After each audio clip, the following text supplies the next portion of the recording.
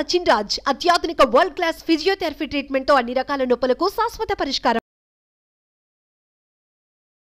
నమస్తే రమగారు నమస్తే జయ. రమగారు ఏదైనా చందమామ కథ ఒకటి చెప్తారా? చెప్తాం. తెప్పకొయ్య. తెప్పకొయ్య. తెప్పకొయ్య అంటే తెలుసా నీకు? తెలీదు రమగారు సా- నదిలో వాట్లలో? అది తెప్ప తెలుసు. అదే. తెప్పే. దాన్నేనా. తెప్పలంటే మామూలుగా ఇలా గుండ్రంగా తాటాకుతోటి కా- డింగీలు లాంటివి కాకుండా ఇలా కర్రతోటి? కర్రతోటి చేసుకుంటారు. తేలేవి. వీటికి ఏం చేసేవాళ్ళు అప్పట్లో? ఒక పెద్ద చెట్టు చూసుకుని ఒక పెద్ద మా మాను చెట్టు మాను స్ట్రైట్గా ఉన్నది చూసుకుని మధ్యలో అంతా తొలిచేసుకునేవాళ్ళు. మధ్య భాగం తీసేసి దాన్ని ఇట్లా ఈ షేప్లో ఉండేలాగా ఉంచుకుంటారనమాట కొసలు ఎలాగో గుండ్రంగా ఉంటాయి. మధ్యలో హోల్ పెట్టి తీసేస్తే ఆ తెప్పకాయ చెట్లు తేలుతాయి కదా నీళ్ళు తెప్పకాయలు ఉండేవి. ఒక పల్లెవాడు కథ అనమాట ఇది. ఒక పల్లెటూరు అబ్బాయి. ఇప్పుడు మనం ఏం చేస్తామంటే సాధారణంగా మనకి ఏది అవసరమో అది చెయ్యం. ఏది అనవసరమో దాన్ని ముట్టుకోవాలనిపిస్తుంది. మానవ లక్షణాలు. అదే కదా. ఎక్కడికి అస్సలు వెళ్ళకూడదు. ఎందుకు వెళ్తారో అక్కడికి వెళ్ళిపోతూ ఉంటారు. అక్కడే వెళ్ళి నుంచుంటారు. వెళ్ళి నుంచుంటారు.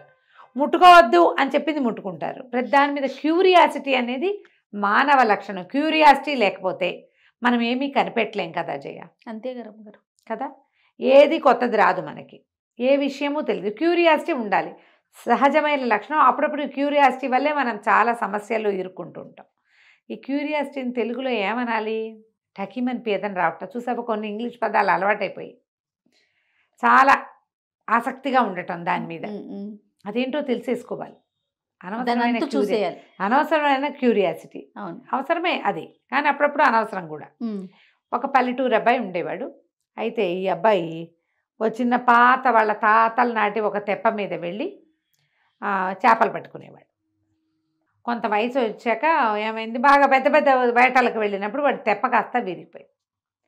వీడికి ఏం చేయాలో తెలియదు ఒక తెప్ప కొయ్య కోసం ఏదైనా వెతుక్కుందామని కొత్త పడవ అంత పెద్ద పడవక్కర్లా వాడికి చేపలు పడ్డానికి వాడు ఒక్కడే వెళ్తాడు. వాటాలు లేవు అందులో ఏమీను. అందుకని ఏం చేశాడు? అడవిలోకి పోయాడు. అడవిలోకి వెళ్తే సరే వెతికాడు వెతికాడు ఏ చెట్టు దొరకలా వాడికి. ఏదైనా ఒక మంచి సరాసరిగా లావుగా ఉండే మాను కావాలి. ఏదైనా ఎండిన మాను దొరికితే మరీ మంచిది. చూడగా చూడగా చూడగా చూడగా అడవిలో తిప్పటకై దారి తప్పేశాడు అయ్యో! తప్పేసేసి అట్లా కొంచెం ముందుకు ఏదో కొండ ఎక్కుతూ వెళ్ళాడనమాట. పైన ఏవో చెట్లు కనపడుతున్నాయి. కొండ మించి దొర్లించేస్తే అని కొండ ఎక్కితే ఏమీ కనపడలేదు సరి కదా చీకటి పడిపోయింది. ఒక మాదిరి జల్లు కూడా పడుతోంది. వెళ్ళలేను వెనక్కి పల్లెలోకి అనిపించింది. అప్పుడు కాస్త అటు ఇటు చూస్తే అక్కడ ఒక ఇల్లు కనపడింది. వీళ్ళని ఏదో సహాయం అడుగుదామని ఒక ముసలాయన వాకిట్లో ఏదో పని చేసుకుంటుంటే బాబు దారి తెప్పాను. రాత్రికి ఇక్కడ పడుకోనా? అని అడిగాడు. అడిగితే ఆయన సరే పడుకుందో రా అని పిలిచాడు. లోపలికి రమ్మన్నాడు. అన్నం అన్నం తినడానికి ఏమైనా ఉందా బాబు? అన్నాడు. అట్టాగే అన్నాడు. లోపల ఒక ముసలావిడ ఉంది. ఆవిడ ఒక మాట కూడా మాట్లాడలే. ఏమీ మాట్లేదు సరే ఏదో వండింది వంట చేశాక ఏం మాట్లాడటల్లా వాడు నువ్వెవరు? ఏమిటి? ఏం కనుక్కోలే అన్నం పెట్టారు. ఇది సుష్టిగా తినేసాడు బయట చాలా చల్లగా ఉంది. ఆ, పడుకో అని ఒక పక్క ఏదో వేశారు. ఒక చిన్న చాప వేసి ఓ దుప్పటి ఇచ్చారు. వీడు చాప వేసుకుని దుప్పటి కప్పు పడుకున్నాడు. పడుకుంటే వెంటనే నిద్రపోయాడు.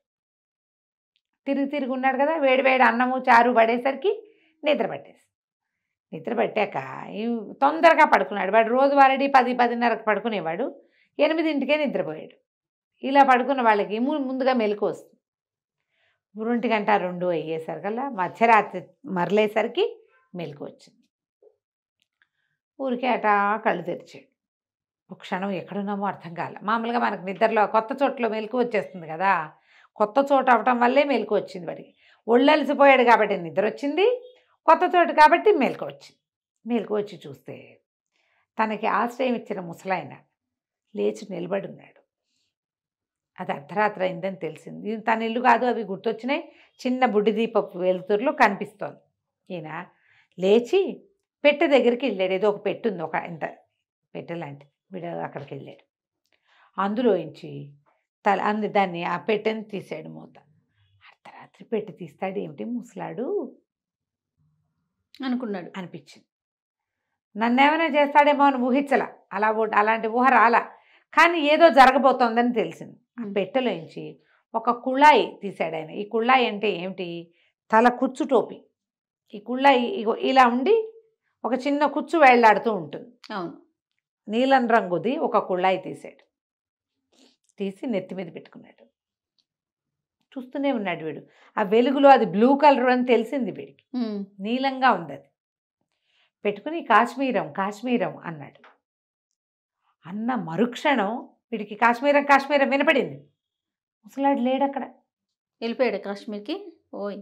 మనకు కూడా దొరికితే బాగుంటుంది. బాగుంది రమ్మగారు అక్కడి నుంచి ఒక ఐదు వీడు తెల్లబోయి చూస్తుంటే ఆ ముసలి మామ పడుకునింది వంట చేసింది కదా మాట్లాడకుండా నుంచుంది.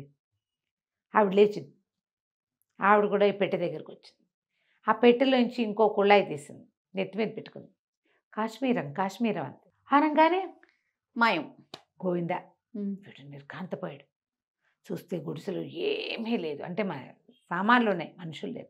వీడు కూడా లేచి ఆ బుడ్డి దీప దగ్గర చేత్తో పుచ్చుకొని ఆ పెట్టె దగ్గరికి వెళ్ళాడు. పెట్టెలో ఇంకో కుళ్ళాయి ఉంది. ఇంకా కొన్ని ఉన్నాయి. వాళ్ళు ఏమన్నారు కాశ్మీరం కాశ్మీరం అన్నారు. అంతే కదా? మనం కూడా అదే అందాం. ఏమవుతుందో చూద్దాం.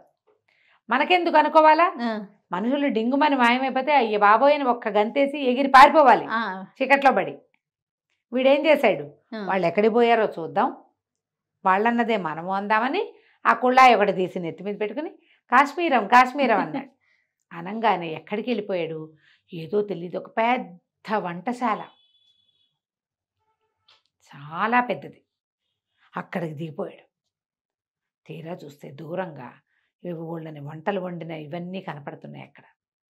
ఏవో బొడు సామాన్లు కూరలు పప్పులు ఏమిటో పాయసాలు చేగోడీలు జక్కి జంతికలు చక్కిలాలు లాంటివి ఉన్నాయి. స్వీట్లు కూడా కనపడుతున్నాయి. గుమగుమలాడిపోతోంది వంటశాలంతా వీడు చటుక్కుని పోయి ఒక స్తంభాన్ని పక్కగా దాక్కుని చూస్తున్నాడు. చూస్తుంటే ఇందాక చూసిన ముసలమ్మ ముసలాయన ఉన్నారా?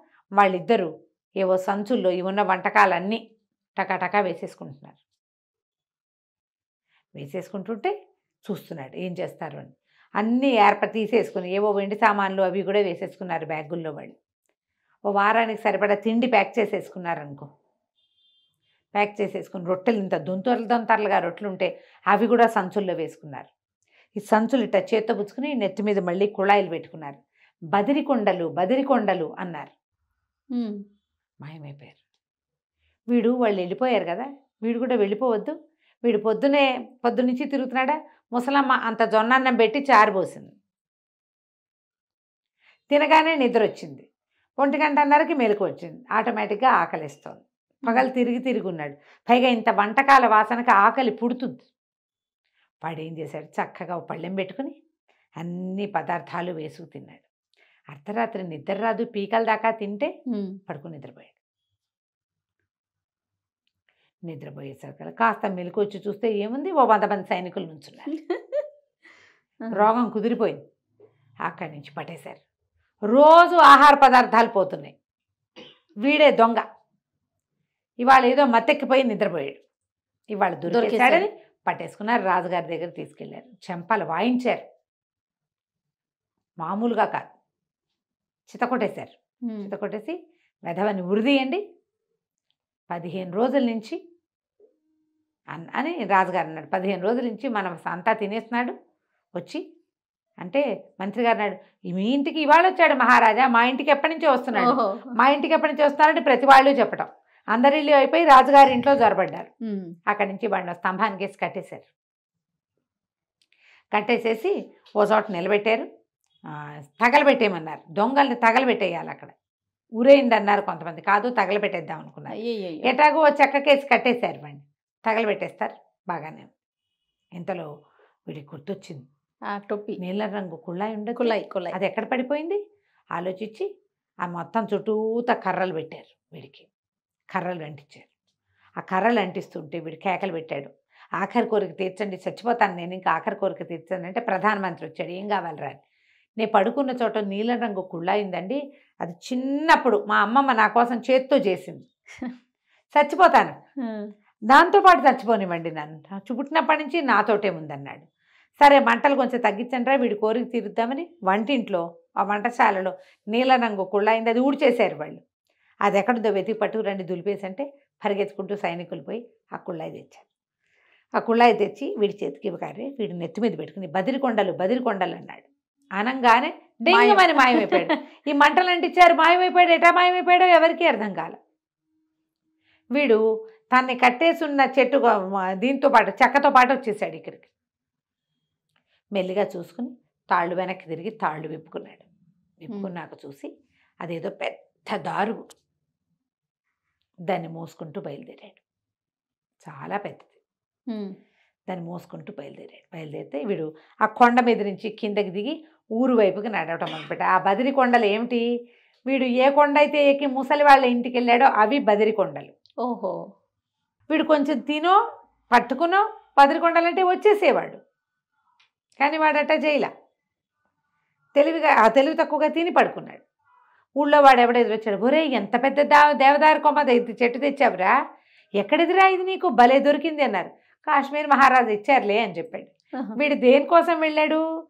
తెప్పకొయ్య కోసం వెళ్ళాడు. వీడిని దేనికి కట్టేశారు? వాళ్ళు ఒక పెద్ద దేవదారు చెట్టుకేసి కట్టేశారు. దాంతోపాటు వచ్చేసాడు కదా. ఊడదీశాక వాడికి తెలిసింది తనకు కావాల్సింది ఇదే. వీడి మీద ఒక మన ఐదారు అడుగులు ఎత్తుంది అది ఇంత ఎత్తుంది. ఇంత లావు మాను. ఆ మానుకేసి కట్టేశారు. తాళ్ళు ఊడదీసుకుంటే ఏముంది? ఆ మాను వీడికి కావాల్సిందే. అంతే. కాశ్మీర్ మహారాజు గారు ఇచ్చారు అని చెప్పి ఆ మాను మాస్ మోసుకొచ్చి దాన్నే తెప్పకోయగా చేసుకున్నాడు. ఆ మొత్తం అంతా తొలిచి లోపల భాగం అంతా దాంతో చిన్న చిన్న పనిముట్లు చేసుకున్నాడు. ఆ దేవదారు కొయ్య వాడు బతుకున్నంత కాలం వాడితో పాటే ఉంది. వాడు ఏం చేశాడంటే రాగానే ప్రాణాపాయం తప్పింది కదా ఈ నీలం రంగు కుళ్ళాయిని పొయ్యిలో పడేశాడు. అయ్యో ఇంకా అది ఉంచుకోవాలి అదంతా ప్రమాదం. అదేలే. ముసలిదానికి ముసలివాడికి వాళ్ళకి తెలివితేటలున్నాయి. వాళ్ళు ఎంతకాలంగానో ఆహారం సంపాదించుకుంటున్నారు వెళ్ళి. అక్కడి నుంచి ఫుడ్ తెచ్చుకుని వండుకు తింటున్నారు. వాళ్ళకి ఇంకేం అక్కర్లే? ఆ వయసులో తిండి కావాలి. మనకు వాళ్ళే బట్టలు నగలు ఎందుకు? ముసలమ్మలకి ముసలాయనకి ఏం అక్కర్లేదు. వీడికి ఇంకా బతకాలని ఉంది దేవదారు చెక్క ఇచ్చారు చాలు. మనకు కావాల్సింది తెప్పకోయి. కష్టపడి పని చేసుకుంటే సరిపోతుంది. అదే. ఈ మాయ మంత్రాలు మనకెందుకని ఆ కుళ ఎత్తి పొయ్యిలో వారేసి హాయిగా దేవదారి తెప్పకోయతోటి జీవితం కాలం హాయిగా చేపలు పట్టుకుంటూ సుఖంగా ఉన్నాడు కథకంచికి మనం ఇంటి సూపర్ సూపర్. చాలా బాగుంది. నమస్తే. నమస్తే జయ.